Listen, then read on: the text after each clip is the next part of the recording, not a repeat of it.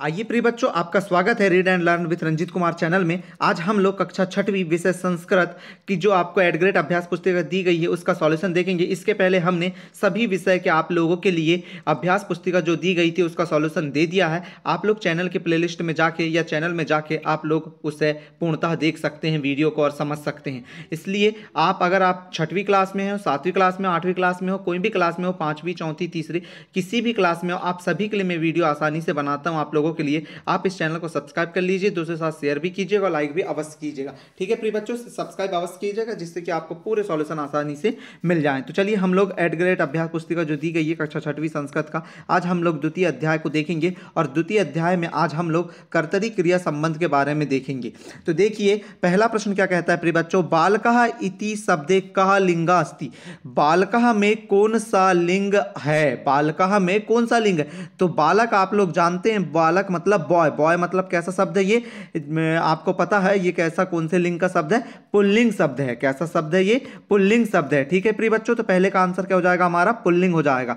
दूसरा है, बालकः किम कुरवंती ये आपको प्रश्नों के जो उत्तर में लिख रहा हूँ, ये आपकी संस्कृत की जो आपको बुक मिली है, उससे मैं आप लोगों को दे, लिख के दे रहा हूँ. जैसे यहाँ पर प्रश्न क्रमांक आठ में, पैरा एक मतलब कि वहाँ पर आपको चित्र दिए होंगे, एक नंबर पे, दो नंबर पे, तीन नंबर पे. तो ये फ़र्स्ट नंबर की रोह में जो आपको दिया गया है, वहाँ से मैं आप लोगों के सामने लेके आया हूँ। तो क्या कह रहा है, बालका किम कुरवंती? तो बालका क्या कर रही है? पठंती। यहाँ पर हमारा बहुवचन में था इसके लिए हमने यहाँ पर भी बहुवचन में लिखा है। तो बालका क्या हो जाएगा?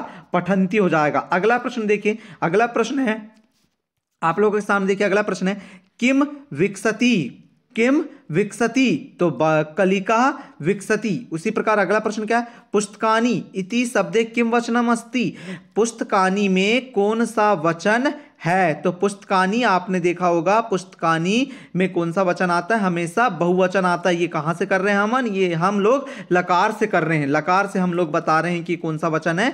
बहुवचन है। ठीक है प्रिय बच्चों तो आप लोग कर लीजिएगा इसका उत्तर भी। अगला प्रश्न देखिए।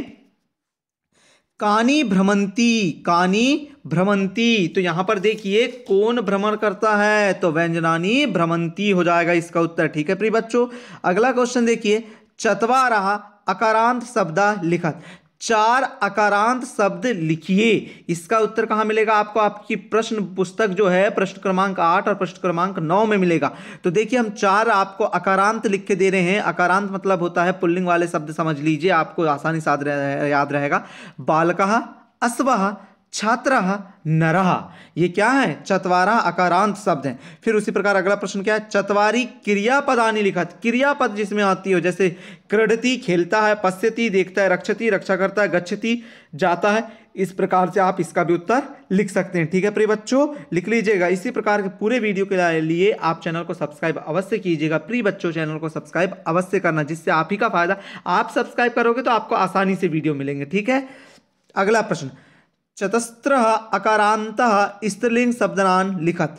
चार स्त्रीलिंग अकारांत शब्द लिखना है। वो अकारांत है, ये आकारांत है। यहाँ पर बड़ा की मात्रा है उधर छोटा की थी तो क्या हो जाएगा उत्तर? जैसे अजहम, यहाँ पर आपको बकरी दिया है तो यहाँ पर देखिए, छात्रा, बालिका, चटका, महिला। ये क्या है? सभी आपके अकारांत स्त्रीलिंग शब्द हैं। ठीक है, आप प्रिय बच्चों, आप लोग इसका उत्तर लिख लीजिएगा। अगला प्रश्न देखिए। अगला प्रश्न है दीर्घ उत्तरम लिखत। क्या कह रहा है? दीर्घ उत्तरम लिखत। चित्र दृष्टवा प्रश्न नाम उत्तरम लिखत। चित्र को देखकर प्रश्न के उत्तर लिखिए। पहला प्रश्न है, का धावती? तो क्या हो जाएगा? अस्वाह धावती। क्यों? क्योंकि एक घोड़ा है, इसलिए हमने अस्वाह लिया है। मतलब एक वचन लिया। यहाँ पर देखिए, को धावता? कौन दौड़ते हैं? तो अश्वो दौड़ता। दो घोड़े दौड़ते हैं। अगला प्रश्न देखिए, अब यहाँ पर बहुवचन के रूप में, अस्वाह किम कुरवंती घोड़े क्या करते हैं? अस्वाह धावंती देखिए, अस्वाह हमने बहुवचन लिया, यहाँ पर वाक्य मात्रा लगाया तो यहाँ पर देखिए, तीता अंति का बहुवचन आया लकार से। तो यहाँ पर क्या हो जाएगा? अस्वाह किम कुरवंती तो अस्वाह धावंती मतलब घोड़े दौड़ते हैं। कितने घोड़े दौड़ते हैं? दो से अधिक मतलब कि तीन घोड़े दौड़ते हैं, बहुत से घोड़े दौड़ते हैं, इसके लिए अपन उपयोग करते हैं। ठीक है प्रिय बच्चों, अगला प्रश्न देखिए, दसवां प्रश्न क्या कह रहा है आप लोगों के लिए? उचित शब्दम चित्वा मेलनेन वाक्य निर्माण कुरुत। उचित शब्दों का मेल करके वाक्य का निर्माण कीजिए। यहाँ पर देखिए, जैसे फलम पथती हो जाएगा, ठीक है? फलम पतती। आप एक साथ भी लिख सकते हैं। ये अगर आपको डैश नहीं लगाना हो तो नहीं भी लगाएँगे, ठीक है? आप एक साथ भी लिख सकते हैं। जैसे कटक, चटका, कूजती, पुष्पाणी, विकसंती, मयूरो, नृत्यंती, मयूर नाचते मतलब मोर नाचते हैं। महिला, पचंती, इस प्रकार से आप इस सही जोड़ी को कर लीजिएगा। ठीक है? तो ये हमारा जो अध्याय था, ये हमारा अध्याय कौन सा था प्रिय बच्चों?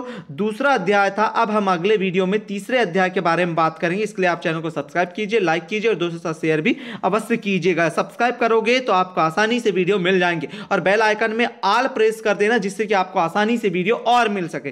ठीक है? इसकी नोट्स चाहिए तो टेलीग्राम चैनल को ज्वाइन कर दीजिए, कर लीजिएगा। डिस्क्रिप्शन में लिंक दे दे रहा हूँ, वहाँ पर आप टैप कीजिए, टेलीग्राम चैनल को ज्वाइन कीजिए और वहाँ से आप इसकी पीडीएफ प्राप्त कीजिए। ठीक है बच्चों? अब हम अगले वीडियो मिलते हैं। थैंक यू फॉर वॉचिंग इसी प्रकार हमारे वीडियो को देखते रहें और प्यार आपका जताते रहें। धन्यवाद। कोई भी डाउट है तो कमेंट कर लीजिएगा। मैं आपको कमेंट में ज़रूर उत्तर दूँगा। ठीक है बच्चों? मिलते हैं अगले वीडियो में। बाय